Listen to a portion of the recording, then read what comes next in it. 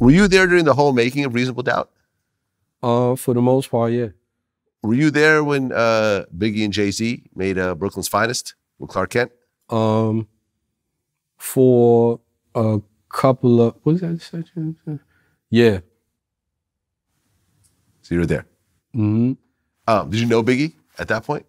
Yeah, but I, I knew I knew Big before that. Yeah, that's what I Uh, meant. yeah. so you already knew who he was.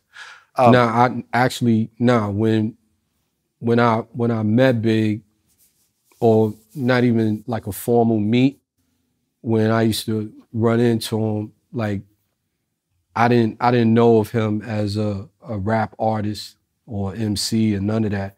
Um, when I first um, gotten back from from London, three weeks after coming back to Marcy, I moved out of Marcy and moved into like Clinton Hills area. And um and you know, Big lived around there, you know, over there, like Classon, St. James. Mhm.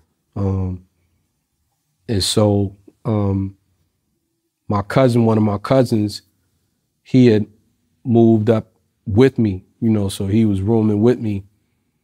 Um and you know, I, wasn't working, you know, I was, you know, I finished my album and, you know, just living, writing at my leisure. Everything was leisure. So every day when the weather was nice, I come out and we shoot ball.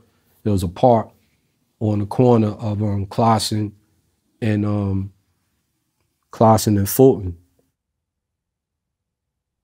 And um Big and a couple of his people, you know, they used to be in the park. And um, you know, one day he approached me, he was like, You think nobody know who you are? I know who you are. I was like, okay. Yeah. So that's what's up. So after that, you know, you know, just see him, say what's up. Me and my cousin just continue shooting ball. Well, you know, we, we interviewed Lil Cease recently, and uh, he said that Big felt that Jay Z was better than him. Yo, did Big ever tell you he felt like Jay was nicer than him? Yeah. Oh yeah. He said that shit before. So he actually said that. Yeah. You know, that was like one of the only rappers that he felt that way about. Mm-hmm. Uh, I mean, from your point of view, knowing both of them, who, who do you think was the, the better rapper? Jay Z. you? there you go. Good answer. Um, but but um, in everybody's defense, like everybody's supposed to say when asked that, if you're not saying that you're the best, Right, but I'm saying Biggie actually felt that Yeah, Jay Z was big- better than him. yeah, I, I And Biggie's considered one of the best ever, is what I'm saying. right, and that that was very, Humble. no pun intended, very big of him Yeah. to to do and say that. Um, but in his defense, I feel like um,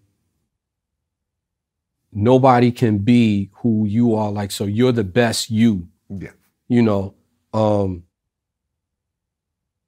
from from my standpoint, for the things that I look for in lyrics, of course, I would say I would say Jay Z is more skilled Okay. but somebody else who has a different understanding on what what's what they want to hear.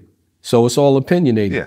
No. They will obviously say like, "Well, I like Big better because the thing about Big was he would say he would say things that like I- would never say, Yeah. you know. And it's not that I didn't, I wouldn't, I can't think of it. I just want to say that shit, Right. you know, like You you look know, so like good. this so fine. I I'll suck, on a your daddy's dick. There's Yeah, no, I- way I, in the I fucking say world that either. Right. you know, and I'm not, you know, and there's no disrespect to him, but you know, if he was still here today, I would tell him I'm like, Yeah, I'm not feeling that lyric. Right. Fair enough. yeah, I was uh, like, Oh, okay. and that and that probably won him a lot, you know, because that's it's an old saying, Yeah. you know what I'm saying. So it Yeah, probably won him a lot of I said it, yeah. accolades. Exactly.